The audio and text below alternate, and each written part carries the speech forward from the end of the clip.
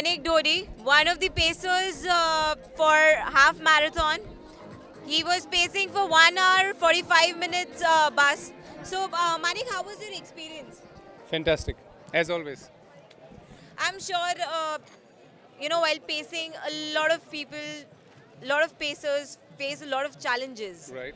with the runners. Yeah.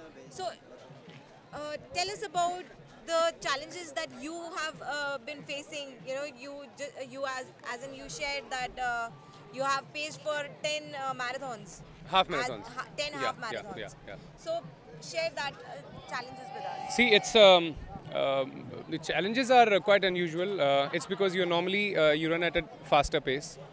Uh, I normally prefer pacing for uh, you know a pace which is uh, or a timing which is 15 minutes slower than mine. So my PB is 130. So I pace for two hours. I pace for 215. I pace for 130. I find that slightly more stressful because that that's significantly slower than your pace. So 140 that's why is uh, pretty okay because that's my usual training pace. Uh, it is the easy pace that I run on. But uh, having said that, and okay, so when we are doing pacing, and if I'm doing pacing for the 145 bus, which means I should complete my half in between 144 and 145. You can't be faster than that, you can't be slower than that. Now, the challenge that comes here is people who are running with you, at times they misunderstand that uh, if they are running with you and they have joined your bus, even if they slow down or stop, you have to be with them. So it's difficult to explain every runner every time that uh, it I'm supposed to finish within the stipulated time. I can't finish slower than one, uh, faster than 144, and I can't do it slower than 145 because that's the target.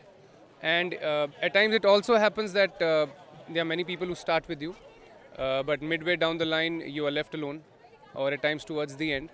Uh, but then there are new people who probably join you because they were probably running for a faster target, but they lost it midway. So they, the moment they see you, uh, they see a pacer for 145, they also get energized. They see scope of at least meeting the second best target. So that that means you still have to be within your target. You have to be running between 144 to 145. You should not be faster. You should not be slower.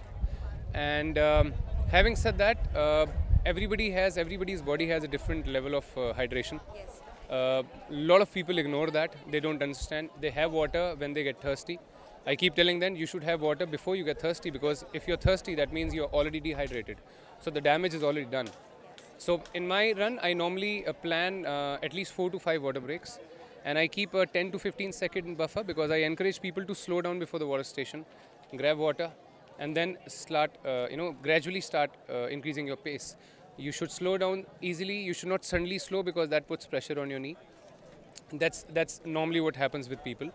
Uh, at times, people will not have water at that moment because they'll say we want to stop at the next one and they don't understand because by then they are already dehydrated. So that takes a while. I try to encourage people. I try to share my policy uh, a couple of days before uh, on the Facebook. Uh, on the start day, again talking to people. Uh, it takes a while. You have to tell people uh, how to how to you know adjust to that. And I keep my pace gradual, uh, you know, very consistent. I don't. When I run myself, I'll be running uh, faster and I might end up doing negative splits in the second second half. But a starter or a not so experienced runner will not do that because he's not used to it. So he will naturally slow down in the end. So although I maintain a gradual pace, uh, a smooth pace throughout, but I keep a buffer of about five to ten seconds, which I get to play with in the end, which I don't tell the runners because if you tell them, they'll say you're faster. But that is what helps them in the end, and that is what helps me help them finish in the right time.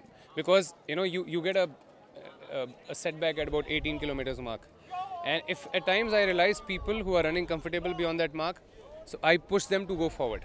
They need not stay with me because I'm anyways there to support them.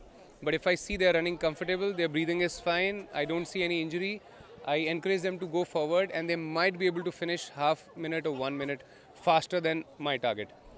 And uh, I think that's what we did today. I last eight, last three kilometers, I was able to push about five people. Last two kilometers, another four people. And in the last 500 meters, another three people. So in the end, there were about uh, nine runners who finished between 142 to 144.10.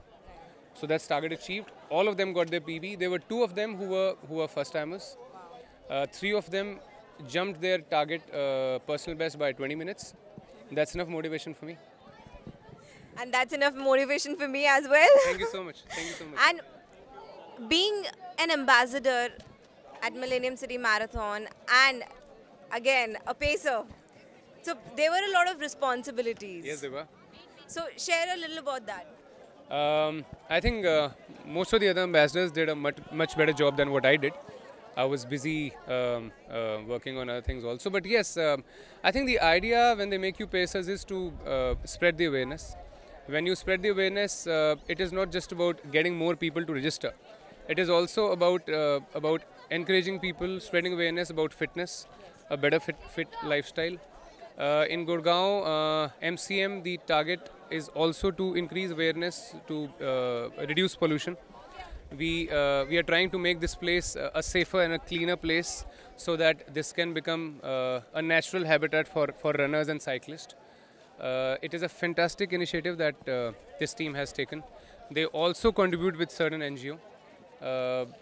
And I think this is just the second edition, and the kind of response we see, the kind of professionally managed uh, event we see, uh, they have a long way to go. Fantastic.